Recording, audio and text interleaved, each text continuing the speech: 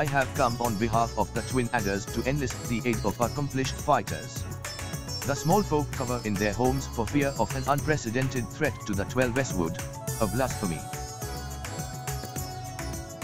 It strikes quickly and with deadly precision before returning to the shadows whence it came. Try as we might, we have yet to devise a means to track it, much less slay it. Several brave souls search for it even now, but their chances would improve greatly if they had a stout protector by their side. Judging by your reputation, I dare say you are precisely the woman we seek. What say you? Will you serve as the shield that stands between Gridania and certain doom?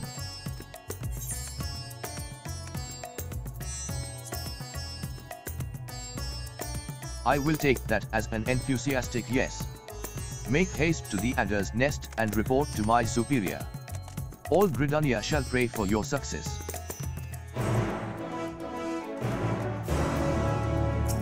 I beg you seek out my superior at the adder's nest with all due haste, that peace might be restored to the Twelveswood.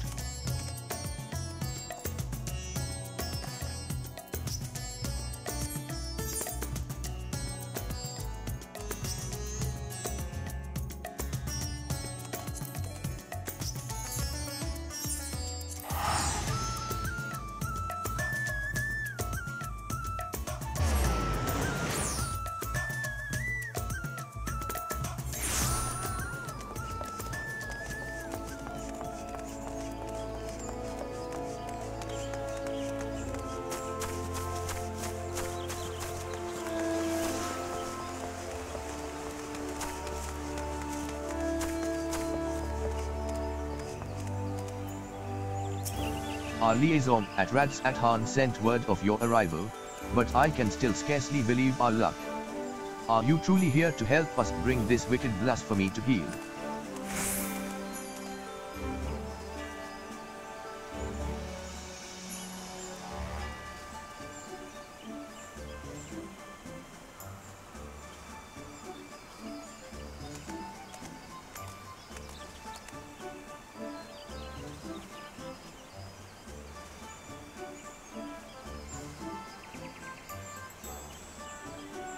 Then there is hope for us yet. I shall fetch the elder Seedseer at once, she is leading the hunt, and I'm certain she'll be most eager to see you.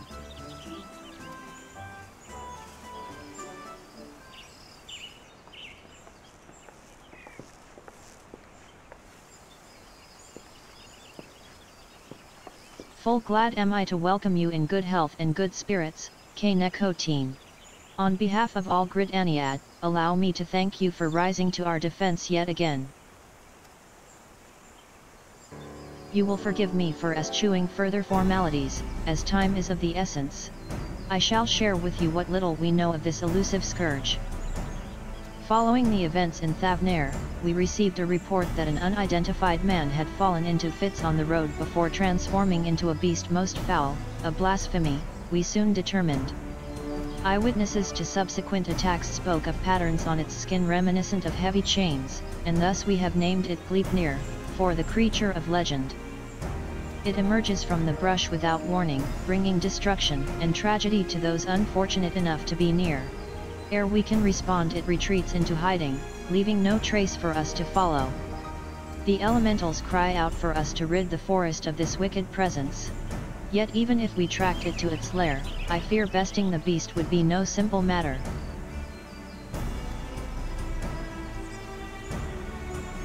The wounds of Gleipnir's victims are tainted by corruption. We can but conclude that the fiend's fangs, claws, and horns are all imbued with the powerful poison. The smallest scratch sends the afflicted into fits, and death soon follows. Mayhap you know of the creeping death? The effects of Gleipnir's vile poison bear more than a passing similarity to the symptoms of that deadly plague. It swept through the Twelveswood many years ago. The sick found their skin covered in chain-like patterns, and spent their final moments in excruciating pain. Twas long before I came to Gridania, but people still speak of it with dread. Is it true that the disease spared not a single hood? Very nearly, Yes. Before the remainder were taken we were able to devise a cure from the Glimshroom. Slow though it was, the scars of this tragedy could then begin to heal. Gleipnir threatens to reopen old wounds, I fear. Yet despite the similarities between the blasphemy's corruption and the creeping death's marks, it is unclear how these two phenomena are related, if at all. Both conjuring and white magic have failed to abate the poison's spread. To confront Gleipnir now would place our soldiers at risk of grievous injury. Forgive me, Elder Seedseer, but this appears to be urgent. What? Again. Gleipnir has struck once more, in the North Shroud. The Wailers came too late to see the beast themselves, but the man it attacked yet lives. They are bringing him to Fallgourd Float as we speak. Then we must meet them there. Will you accompany us, K. Neko team? Ethelmer should be able to apprise us of the details upon our arrival.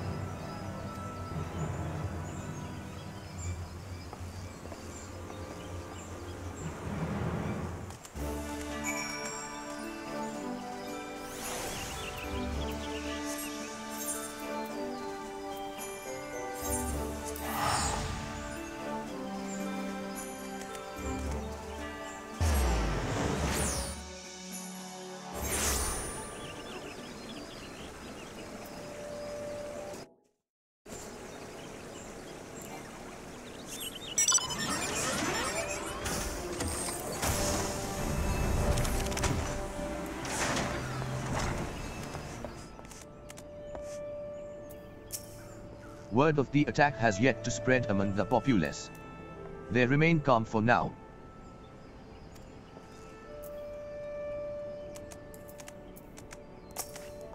We cannot say for certain Gleipnir has quit this place.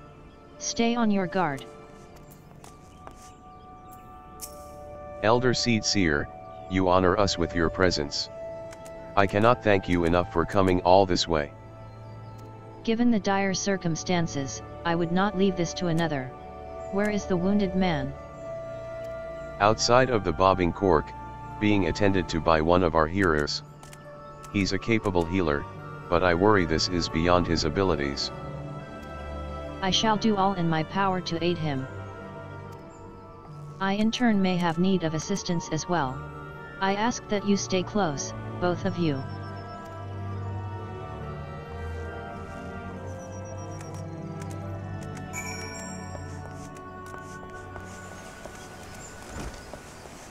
Ixal were sighted near Eugenia's spire. You'd best let your patrons know.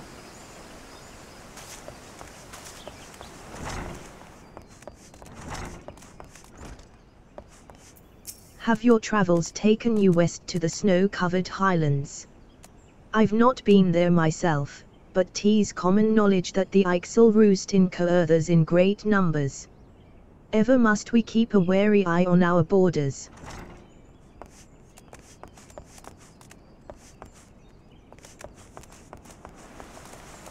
Ixal were sighted near Eugenia's spire.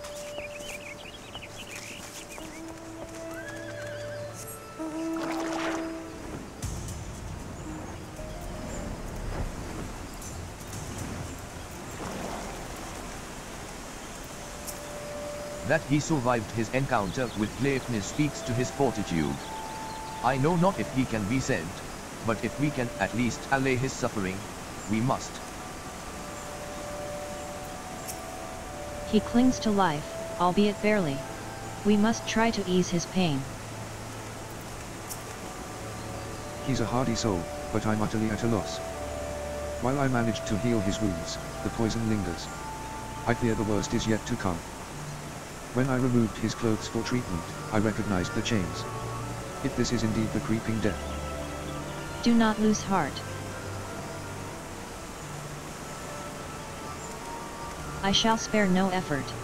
Rest for now, we may have need of your talents again ere long. Chigoes, man, Chigoes. A bloody swarm of them. That came from the east gate. Chigoes are known as carriers of the creeping death. The villagers are on edge. If they think the Vilekin harbingers of another plague, they may panic. Pray see to the Chigoes. I shall remain here with the victim.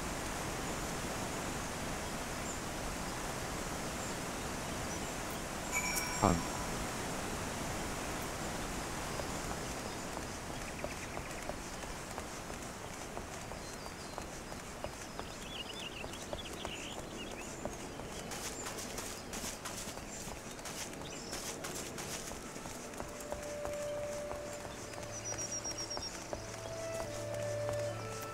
Fallgourd floats famed for its fragrant teas and warm hospitality.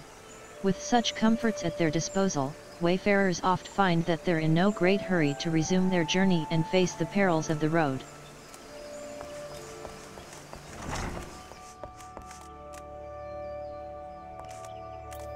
Come on in, lass, and take a seat. One of those adventurers, are you? Well then, welcome to Fallgourd Float. If you are looking to rub shoulders with more of your colleagues, you could also try the bobbing cork, north of the Aetheryte. Our specials today are eel, eft, snail, and toad.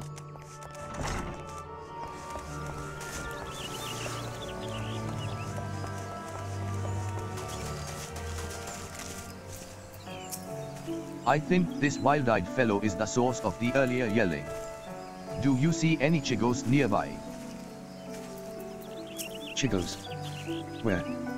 Keep them away from me.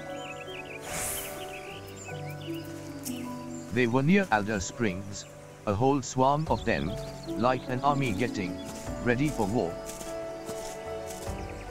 Bringing the creeping death, like as not. Folk be been dropping, dead with no rhyme or reason, and I'm not about to join him, no sir. Came running, back fast as my legs could carry me. Were you bitten? I will show you to a hero if so. Not a single hole that doesn't belong, you can be sure. You'd best do something about that swarm though.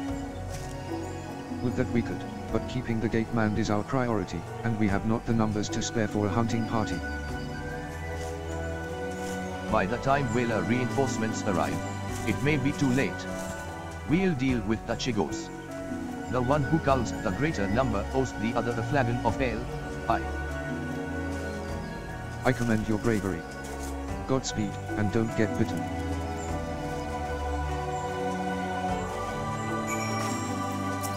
I have never seen so many of those filthy fiends.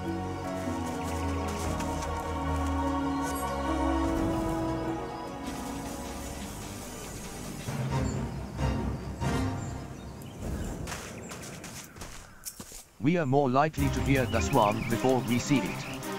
Keep your weapon close at hand. We cannot allow a single one to escape.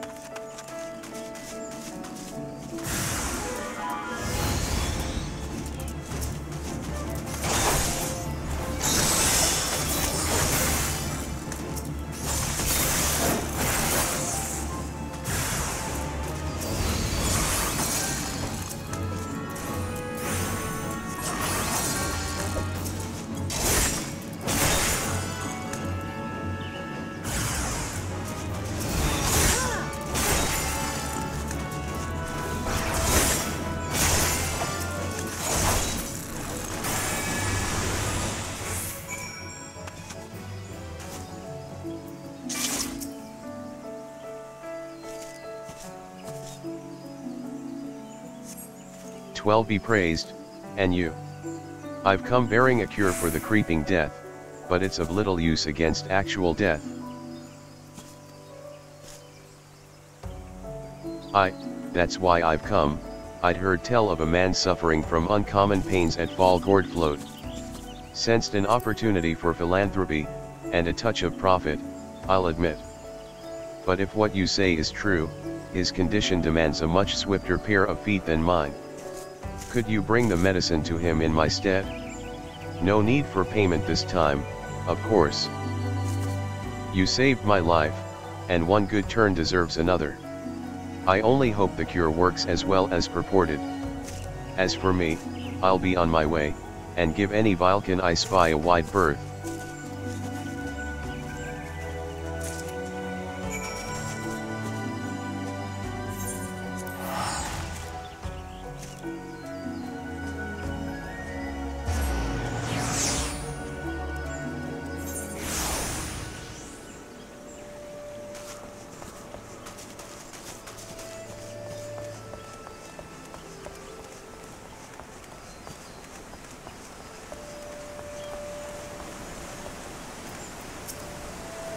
That the mere mention of Chigoes could spark such panic.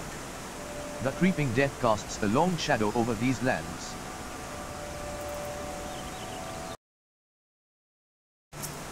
You brought medicine. What luck. We must administer it straight away. Un. Thank you for calling the Chigoes. Alas, our patient's condition has yet to improve, and it is all we can do to keep him from succumbing to the poison.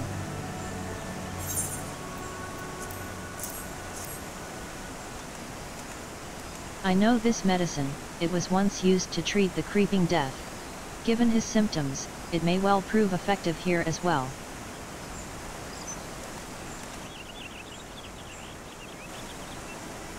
It works upon the body quite quickly, as I recall.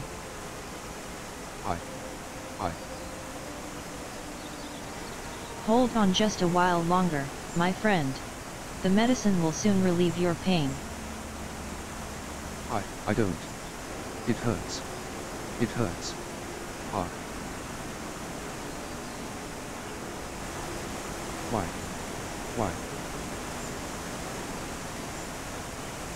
The man's shrieks die in his throat as his body is racked by violent convulsions. He then falls still and quiet, as if his breath was snatched from his chest.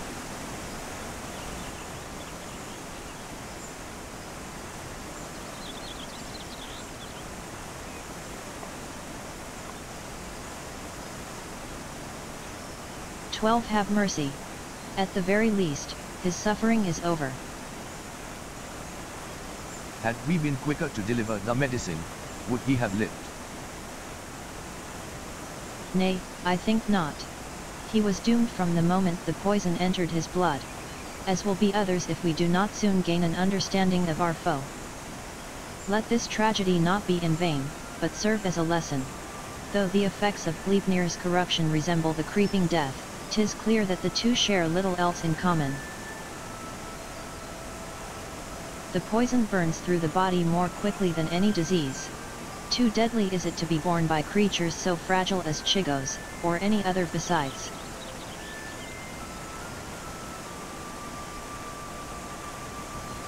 Then that is one less possibility the people need fear. Tis a shame a life was lost, but this knowledge may help us ensure that others are not. Spread word, but do so with delicacy. In these troubled times, fear and despair can drive even the goodliest of souls to desperate ends. Gleipnir is the only blasphemy known to us in Britannia, for now. We must do our utmost to stop him from sowing further discord. Understood, Elder Seedseer. I'll give this man a proper burial before sharing what we've discovered.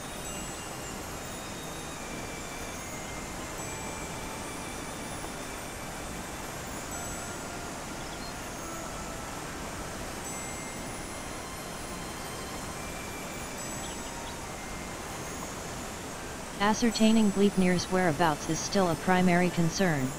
Let us return to the adder's nest, for information shall be our most reliable weapon in the days ahead, and there is no better place to acquire it.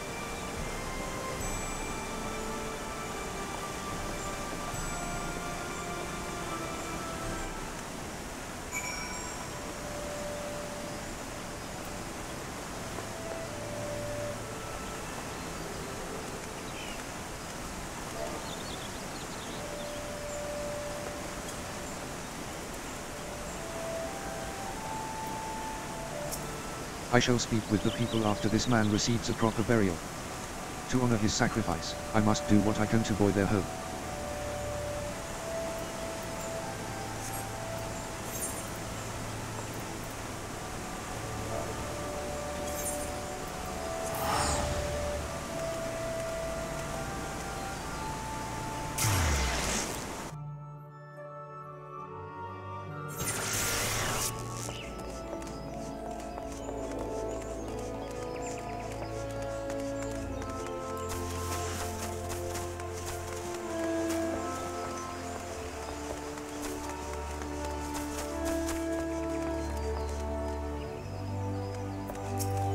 Gleipnir has been sighted in various locales, and though we are reviewing every report, we suspect most are erroneous.